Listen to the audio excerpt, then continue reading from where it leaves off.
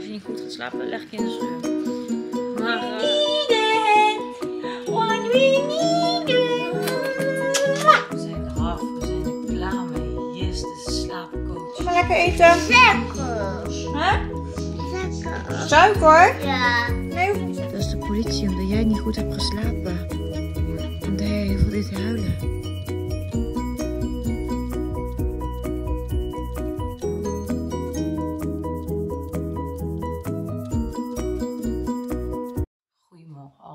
Super leuk dat jullie weer kijken naar een nieuwe vlog. Ik eh, ben net wakker na een hele extreem slechte nacht. Oh my god. Liano die sliep net één, twee weken echt super goed. Ik dacht echt van, we zijn eraf, we zijn er klaar mee. Yes, de slaapcoach, die eh, tips die werken gewoon super goed. En we gaan eindelijk geen gebroken nachten meer hebben. En vannacht hadden we ook een logier. Alia die sliep ook bij ons, dus we hadden drie kindjes. Maar Liano wou gisteravond al niet slapen. Hij was gisteravond ontroostbaar en niks was goed. En we kregen hem niet stil. Hij is uiteindelijk pas om half twaalf in slaap gevallen. En eh, vanaf half twee weer wakker. En ook vannacht was er niks goed. Bleef hij huilen. Ik heb hem zitten wiegen. Ik heb een flesje. Ik heb even met hem naar de televisie gekeken. Ik weet het niet meer. We hebben van alles geprobeerd. Maar niks hielp. Eh, op een gegeven moment gewoon in zijn bedje gelegd met de melk. Ehm, ja, heel af en toe viel hij in slaap en dan werd hij na 10 minuten weer wakker. Alia werd ook één keer daardoor wakker. Rond een uur of vijf begon ze ook te huilen. Terwijl die altijd de klok helemaal rond slaapt. Die is net zoals Milena, die slaapt gewoon perfect. Maar die kreeg ik gelukkig best wel vrij uh, snel weer stil en in slaap. En die heeft daarna wel tot 8 uur doorgeslapen. Maar ik heb Liana op een gegeven moment om half zes een zetpil gegeven. Ik dacht, misschien heeft hij ergens pijn. Ik weet het niet. Maar, oh jongens, ik heb een hoofdpijn. Echt, mijn hoofd knalt bijna van mijn lichaam af. Gewoon omdat ik zo, zo slecht geslapen heb. Maar goed. Um, ik ga de fles maken. Alia moet een fles hebben. En we gaan er gewoon wat van maken vandaag. We gaan zien hoe het loopt. Uh, normaal doe ik nu dan uh, een middagdutje. Vaak als ik zo slecht geslapen heb met de kinderen. Maar um, dat gaat niet. Want Alia die wisselt haar slaapjes precies om met Liano. Dus dat ritme van hun twee loopt uh, ja, niet tegelijk. Waardoor het Waardoor ik niet kan gaan liggen. Maar goed, mijn zusje hoeft vandaag nog tot half twee te werken. Dus ik hoef me ongeveer tot twee uur op te passen. Misschien dat ik daarna even ga liggen. Ik zie het wel. We proberen gewoon weer het beste ervan te maken. We gaan zien hoe het vandaag loopt. Ik neem jullie weer een dagje mee. Ja. Een ochtendje met drie kinderen. Milena ligt nog wel lekker te slapen. Alia ga ik de fles geven. Dan ga ik zo de boterham voor Liana maken een ontbijtje voor mezelf. En dan gaan we het wel zien, jongens.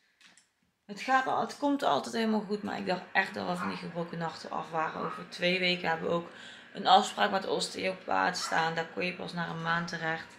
We gaan het zien, we gaan het horen. Komt goed. Nou, kindje nummer 1 ligt op bed. En ik ga voor kindje nummer 2 en 3 gaan we even een, een fruitsalade maken. Met allemaal verschillende fruitjes gaan ze eten.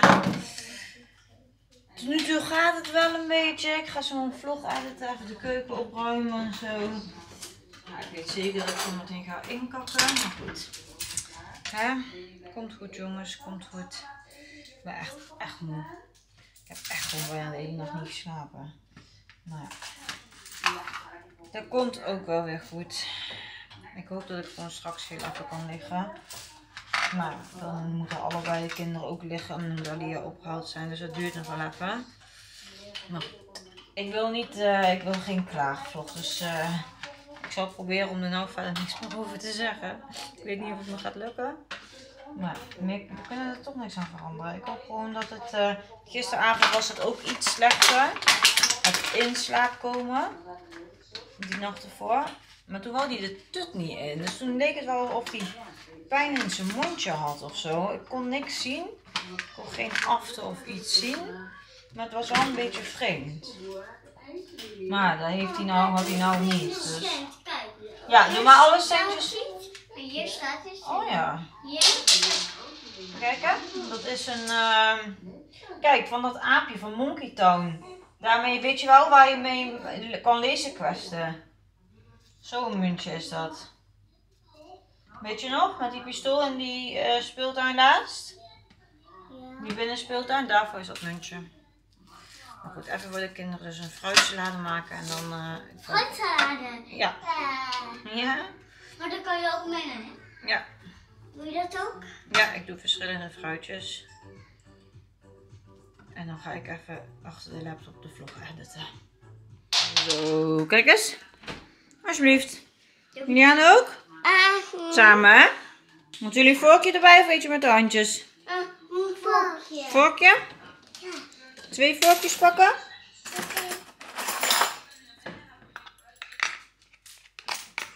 Zo, alsjeblieft. Lekker eten. Doe maar lekker eten. Lekker. Hè? Lekker. Suiker? Ja. Nee, hoeft niet suiker. Het zit al op. Zit er niet, man. Dat is echt van mijn vader. Mijn vader geeft altijd aardbeidjes met suiker. En dan zegt hij dat ook, hè? Kleine boef. Hallo. Het luchtalarm gaat. Wat betekent dat? Dat we weg moeten. Waar naartoe? Ander huis? Ja, Liano? Dat is de politie, omdat jij niet goed hebt geslapen. Omdat jij heel veel deed huilen. Komt, nou komt politie, kom jou halen. Ze gaan je broertje meenemen. Ja. Ja. En nu? Of ga je goed slapen? Ja. Ja? Oké, dan is het alarm voor iemand anders. Is het alarm dan voor Milena? Ben jij stout geweest? Nee. Heb jij goed geluisterd? Nee.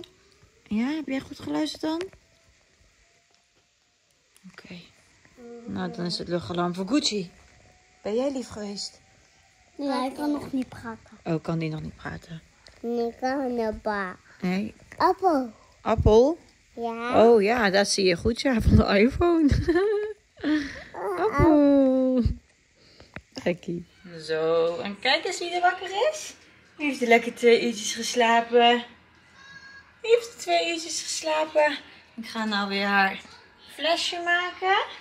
Maar dit bedoel ik dat zij en Liana dus afwisselen, want het is nou tien voor één. En je kunt merken dat hij de moe wordt. En dat snap ik, nou bij hem niet laten hebben. Dus ik ga nu Alia de fles geven. En dan gaat Liana slapen, hè? Nee. Ja. Niet. En dan komt mijn zusje dus rond kwart voor twee. Dus dan ga je eigenlijk een uurtje op bed. Dus dan, als hij twee uurtjes slaapt, kan ik s'avonds nog heel even een uurtje liggen. Want we need it.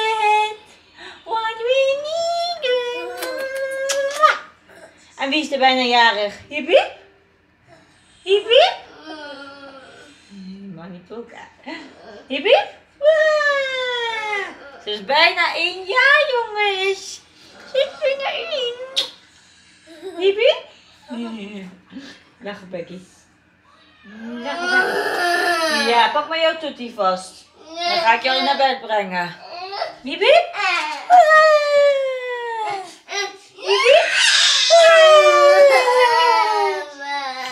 Ja. Oh, dit gaat toch niet? Hippie?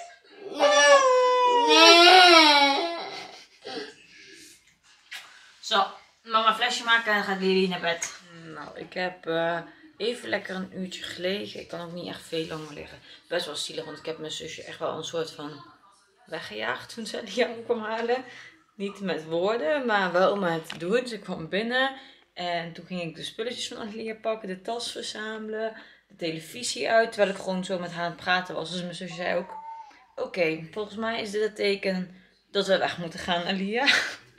Heel erg eigenlijk, maar goed. Eh, de kinderen, Liano begint nu wakker te worden, die hoor je. Milena zit nog op haar kamer te tekenen. En ik ga heel even, want ik heb nog niet geluncht, lekker een saté-strookje met een sneetje witbrood om lekker te soppen in die saté. Dus dat ga ik nog even eten. Dan gaan we even allemaal de pyjama's aan doen, want we lopen al de hele dag in de pyjama. Het is echt een pyjamadag voor ons allemaal. Maar dan gaan we dadelijk dus even aankleden. Want ik denk dat de kinderen zometeen nog wel buiten willen spelen. Mocht het droog zijn. Want volgens mij krijg je zometeen wel regen. Maar goed, dat zien we dan wel. Dan zijn we in ieder geval aangekleed. Mocht het niet regenen en we nog even naar buiten willen. En misschien dat ik vanavond ook weer een keer met kennende kinderen. Als het droog is. Wil gaan ehm, lopen langs de winkel.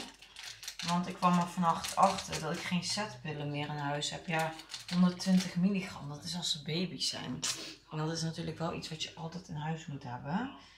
Dus eh, ja, dat wil ik eigenlijk zo meteen nog wel even gaan halen. En het lijkt me wel lekker om weer een keer lopen naar de winkel te gaan. Dat doen we in de zomer altijd heel vaak. Dat is nu natuurlijk heel lang geleden. Word ik nou gebeld via mijn laptop? Een vreemd nummer. Hallo met Sascha?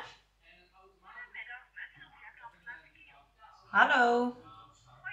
Ik bel naar aanleiding van de planning van Dit was dus de ehm Kion, de kinderopvang.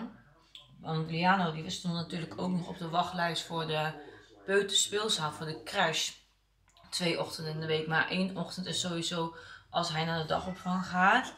En die andere, ja, heel eerlijk gezegd, zit ik daar op dit moment nog helemaal niet erg op te wachten. Omdat ja, hij toch nog wel eh, moet wennen of zo. Of ja, hij begint hier het nou net wat beter te doen. En als ik hem dan ook nog naar een andere groep met andere kindjes, andere begeleiders ga brengen, doe ik hem niet, eh, doe ik hem niet goed mee, denk ik. Dus dat gaan we nog niet doen. Dat heb ik voor nu even afgezegd. In de toekomst, als het misschien beter gaat, kan ik altijd kijken of hij nog een extra ochtendje naar de peuterspeelzaal gaat. Maar ik vind voor nu één dag in de week de kinderopvang eh, vind ik wel genoeg. Maar goed, zoals jullie kunnen zien is met een lunch klaar. En ga ik even lekker genieten van een satéstokje. We hebben even heerlijk buiten gezeten. Clem is er nu.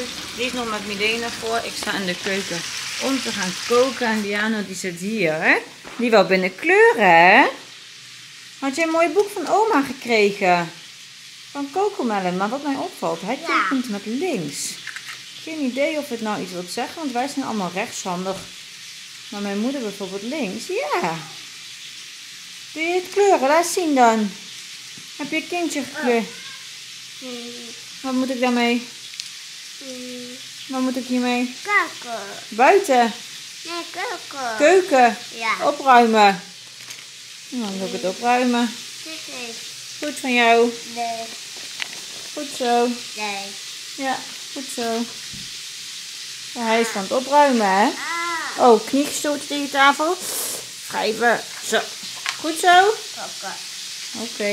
Nou, we hebben nog even heerlijk buiten gezeten na het eten. Dat is eh, altijd wel lekker hier in de straat. dat Al die kinderen nog aan het buiten spelen zijn. En het is nu natuurlijk vakantie, dus het is nu bijna 9 uur. We gingen pas om half 9 naar binnen met de kindjes.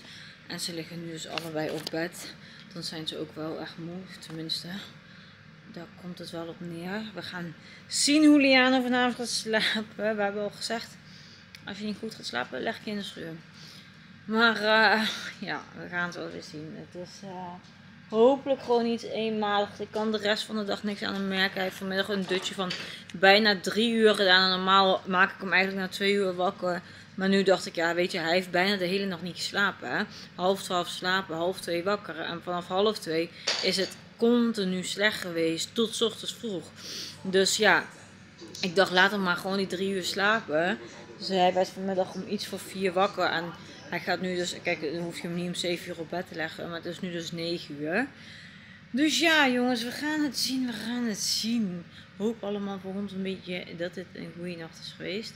Maar goed, Glenn en ik gaan de bank op. We gaan Ex on the Beach kijken. En dan gaan we ook lekker slapen. Morgen weer allebei werken. Ik heb morgen sowieso een lange dag. Ochtend, middag en avonddienst. Soms komt dat voor in de eh, vakantieperiodes. Want er zijn dan meerdere op vakantie nu het meivakantie is. Maar goed, ik denk eh, dat we voor nu eh, klaar zijn met deze vlog. En dat ik jullie morgen dan nog eventjes ga vertellen hoe de nacht met Liana is geweest. Of het iets eenmaligs was of niet. Zo, ik zal jullie nog heel even op de hoogte brengen van hoe het eh, vannacht is gegaan met Liano. En we dachten heel even van, oh nee, here we go again. Want tut je niet in. Dus toen ben ik snel naar hem toe gelopen, tut zoeken, tut in de mond. En